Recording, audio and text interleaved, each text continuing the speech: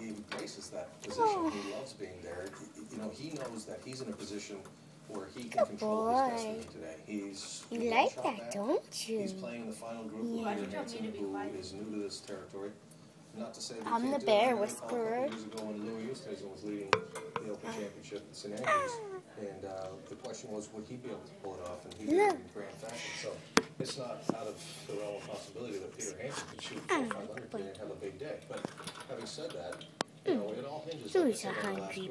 If those guys get off to a good start, Mary. force the guys ch- chasing them to really put the pedal to the metal.